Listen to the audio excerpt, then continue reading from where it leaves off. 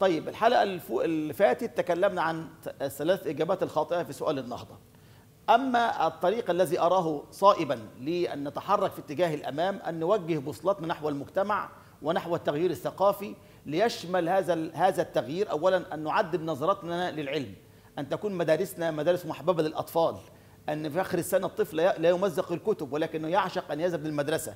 يوم أن يبكي طفلك وطفل إن غاب في يوم عن المدرسة اعرف أن إحنا بدأنا نتحرك في الاتجاه السليم. لابد أن نحسن علاقتنا بالعلم. لابد أن نحسن علاقتنا بالعمل.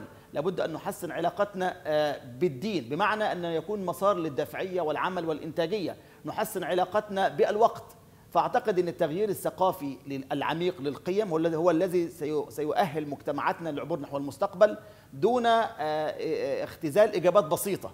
يعني العودة للدين العودة للمصنع العودة للنظام البرلماني هذه إجابات في الأشكال لكن القيم العميقة في المجتمع تحتاج إلى مراجعة. نظرتنا للعلم نظرتنا للعمل نظرتنا للوقت نظرتنا للدين نظرتنا لشركائنا في الوطن. كيف كيف نرى المجتمع المتنوع مسيحيين ومسلمين وكاثوليك وأرثوذكس وأرمن ودروز. نحن أمة بالغة التنوع وجميلة لكن هذا التنوع إلى الآن فشلنا أن نديره إدارة صحيحة. فأعتقد ال- ال- ال- التغيير الثقافي العميق في محاور العلم والعمل والوقت والمواطنة هي ال- ال- العتبة الأولى التي ينبغي أن نبذل فيها جهد كبير جدا حتى نرتقي إلى مسار آه، النهضة. فاذا العنوان الأخير هو التغيير الثقافي العميق للمجتمع والذي سيقود إلى إحداث نهضة حقيقية آه، إن شاء الله.